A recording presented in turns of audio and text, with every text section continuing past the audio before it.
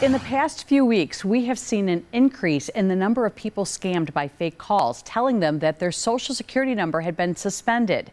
In some cases, caller ID is spoofed with the actual phone number for social security. The call contains a recorded message claiming that your social security number is being tied to a trail of crimes and that if you do not call a specified number to verify your information, you will be arrested. But here are the dangers of calling back. When calling the specified number, the scammer asks you to provide personal information to verify your identity. This information could be used to steal your identity.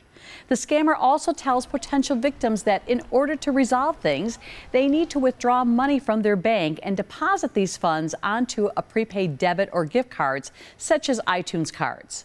The scammer then asks for information from these cards that is used to drain the funds, leaving the consumer with little or no recourse for getting their money back.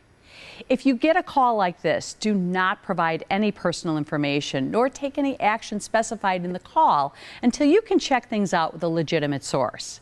If you're not sure if the call is legitimate or you fear that you have been scammed, contact consumer agencies like the Federal Trade Commission or our Call for Action office for help. For today's TMJ4 Call for Action, I'm Karen Stiles.